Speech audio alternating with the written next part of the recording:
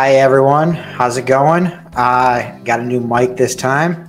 I wanted to say welcome to episode eight of Real Estate Talk with Randy Stedwell. That, that logo is not very good with Randy Stedwell. There you go. Uh, anyways, um, with that being said, we have our guest of honor, which is Malcolm Turner. Malcolm Turner is a um, commercial real estate, commercial, um, commercial lender, and so for all of you guys out there doing multifamily, you want to use him uh, not only for the lending portion, but also to help underwrite a deal, in my opinion. So I think he can help you tremendously in this. Uh, so with that being said, let's welcome Malcolm Turner. Malcolm, how you doing? I'm great. How are you? Oh, I'm doing awesome. So, got the new mic. You got the first episode with the new mic here. So, you know, cool. before it was just my AirPods.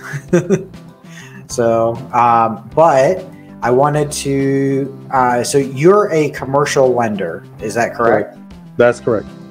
So, with that, um, how can real estate professionals use you uh, as far as uh, being a being a broker and things like that?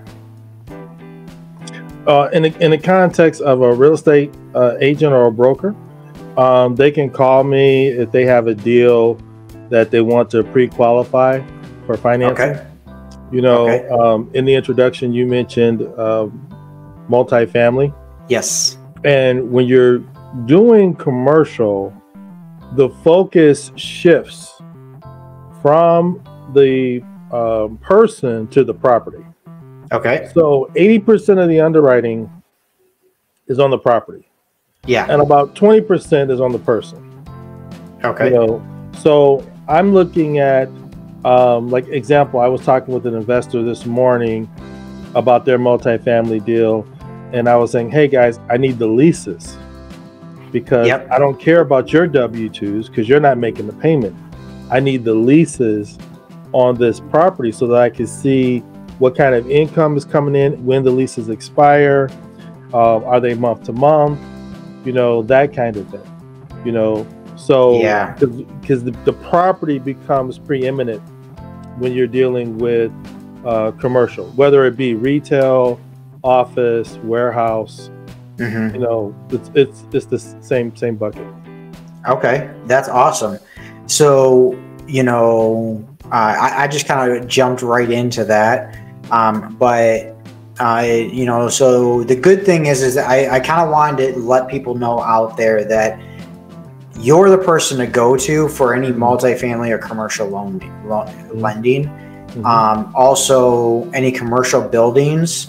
I highly recommend go through you as well. Mm-hmm. Um, if you don't know what you're doing, if you don't know what you're talking about, if you're another wholesaler that has a deal under contract and you need a second pair of eyes to underwrite it, by all means, this is the guy to talk to because mm-hmm. he will tell you whether there's a deal there to be had um, or not, or if you need a, sh- in order for the deal to be had, you need a strong buyer for them right. to be able to lend.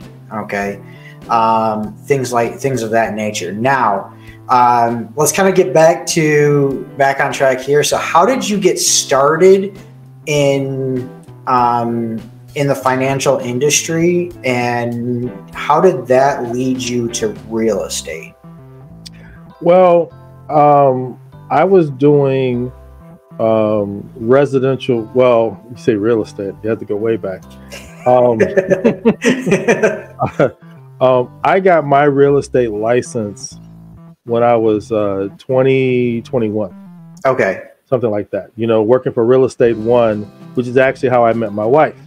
Because okay. I worked out of the Real Estate One office in uh, Lathrop Village, and she worked out of the Real Estate One office in Detroit. Real Estate ah. One office in Detroit. And just, you know, give you a little comparison. This is in 1980. Um, eight, eight, 89, something somewhere around in there. Okay. And um, interest rates for a 30 year fixed rate mortgage was 9.75% for a 30 year fixed. And we're you know, complaining about six or seven percent. People are losing their mind over right six, seven. Oh my God, eight percent. Oh, oh, it's like, come on, man. You know, now, now here's here's the irony. Back then, when I when I met my wife, they had a big company meeting where they brought all the respective branch offices together in one big uh, whole meeting at a hotel in Southfield. Yep. Because real estate one that year, for the first time in their history, crossed one billion dollars in sales. One billion. Sorry, I had to. And they were like, they were like, yeah, we're like the biggest, the best in the. They, and they were the biggest in the state. I don't know Yep. what the numbers are now, Okay. but they were like, yeah, we're killing it. Next year's going to be even better. And this is in a 9.75% interest rate environment. We were selling real estate like crazy. And so someone asked me the other day, you know, as an investor, Malcolm, you know, you're looking at rates and things like that and where things are going. And, you know, when is the best time to buy? When you find a deal. yes. Because if I'm a if I'm an investor, I'm an investor. It's what I am. Yep. Right? I invest in real estate. So should I buy this multifamily? And this is 2023. Would it have been better for me to have bought it 10 years ago, 20 years ago, 30 years ago. You know, yes, there's been some ups and downs, obviously, you know, in the market Yeah. on a month to month, quarter to quarter, year to year basis. But if you got it 10 years ago, you're probably pretty good right now. Yep. You know, now if you bought it two months ago, that, that might be a different story, right? So you're a long term investor, you buy for the long term. Mhm. You know, when should you buy? When you can get a good deal, you know, or when the deal even makes sense. Because sometimes you can't always kill it on every deal. That is You know? true. That is true. Yeah. Sometimes you got to go for. eh, eh, Not every deal is going to be a smoking deal. You Right. know. That's right. That's right. And, and I'll, I'll show you a little bit how I work. I had a guy call me. Um, this was uh, Friday. Um, uh, no, no, no, no. This was um, not not this Friday. Well, this was the Friday before last, and he was calling me from um, Washington, uh, D.C. area Okay. you know, it was a referral. Um, one of his buddies who also invests in Detroit from the DC area, and he was trying to buy this property. This property was in um, Pennsylvania. It was actually he, he's in DC, but it was in York, Pennsylvania, Okay. right? And the listing price was four ninety nine. Um, I forget how many. It was a small. I want to say maybe 10, 12 units. It was it was a small multifamily. Okay. So he said, "Yeah, me and my realtor, we went ahead and offered 425." And so, you know, I was hoping I could catch you this morning, but I couldn't wait. So we're putting an offer in at 425. And I'm like, "Okay. So what's the number?" So we went over the NOI, Mhm. right? And I said, "Okay, the cap rate that they're selling this property at is um it was like 8.63%." Okay. okay but i asked him did you double check the numbers and he's like Yeah. well, what do you mean i said well you know in the offering memorandum they said here's our expenses right here's our income and then here's our net down here but did you actually do your own math or you just Mhm. assume that total was right because a lot of times it's not and he's like no i didn't so he did the math and it was 10 grand off right Okay. right? So, okay, well, you know, 10 grand is 10 grand, you know. So Yep. we did the math based on that cap rate. It's like, okay, well, that should drop the price down to 399. Then we found another uh, error in the operating agreement where they didn't account for a vacancy loss, which Mhm. should be 5%, Yep. right? And there was a there was a one other thing which I can't remember. And Property management. um no, it wasn't property management. That was actually in there. But anyway, Mhm. it dropped the um, NOI further. You know, Okay. I, I want to say like 34,000, 31,000, somewhere in there. And so I said, now based on their cap rate that they initially was offering this property at, you should be offering 352. Yeah. He's like, holy crap. You know, the other lenders I talked to just wanted me to throw in an application.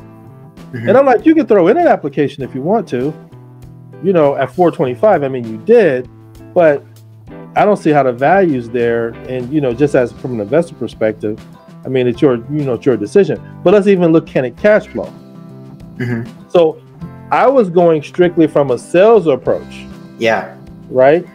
So when I said, okay, based on um, a 30 year amortization, because you can get a fully amortized 30 year loan on a multifamily, Yeah. right?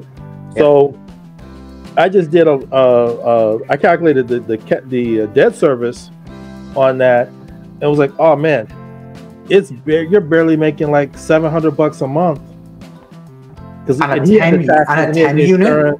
he had all that other stuff. Yeah, so it was like 700 bucks a month at 352, Why buy a 10 unit then? right? So I said, now is this property under market relative to rents? Yeah. and he was like oh yeah absolutely. And it had a it had a um first uh the first floor of the building was retail. So it had Mhm. three units of commercial. Okay.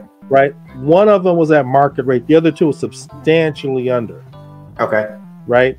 So he's like well once i get those up to full market you know that would be like half my um cash flow all by itself Yeah. which is actually not that uncommon when you have Yeah. what, we, what we call mixed use, Yep. right? Um, and so I said, okay, what about the uh, residential units? And he was like, oh yeah, they're under market too.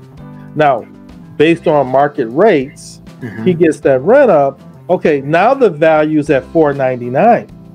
Mhm. But you're not going to pay a premium for what you, what's going on now. exactly. Now you after you do all the work, now you're paying the price of after you do all the work. and as some of your your your viewers may know, a lot of sellers will say, "Well, when you get done Yeah. rehabbing this place or changing the rent rollover Yep. or you know raising the rents, oh yeah, it'll be worth this. It'll be worth two million dollars. Yep. Yeah, but I'm not paying you two million dollars now. Exactly. It's not that you know that's my equity, yep. right? If it's so wonderful, you do all that stuff. You Mhm. put all that money and time and work effort in, and then you get it to two million. You know, because the, the question that I would think as an investor, I would think, well, if it's all of that, why didn't you just do it? If it was so easy, Exactly. right? Oh, you didn't want to do it. Okay, well, if you didn't do it, that means I've got to, so therefore I deserve to get paid. Yep. Right? But the thing just didn't cash flow anything above that 352 number. And whether it's worth buying or not gets to after I get it cash flowing, after Right. I turn over that rent roll, is there opportunity for growth? The answer was yes. Yeah. Okay, so as a lender, I have to underwrite it as it is. hmm I can't underwrite it for, at 499. No. You know, and it's 100. And this this property, by the way, was 100 percent full. Okay. So this was not a property that was beat up, torn up. Yeah. You know, it wasn't that kind of situation. well, it probably was just with tenants in it. So, you know, old old tenants. right, right, right. But physically, the property was in good shape. It didn't need any. You know, it didn't need it. Had according to him, it didn't have a lot of deferred maintenance at all Got that it. he could see. Right. So, but that's where we sort of did a deep dive, and then he's like, "Well, man, my realtor's going to be upset." Right. And And- I just sort of said to him, "Well, let me ask you a question." I was like, "Okay, you're looking at 399. Now we're Yeah. looking at, excuse me, 499. Now we're down to 352.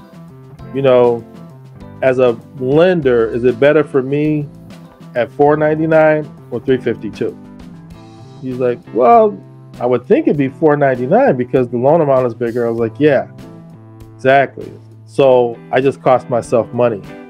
I'm a terrible loan officer, right? And then we just laughed. It, it you know, it joked about that, right? But at the end of the day, me wasting his time, taking an Yeah. application on a bad deal, when I could have sat there and literally in 15 minutes, 10 minutes, mm-hmm. do the math and say, does this make sense? Yes. Right?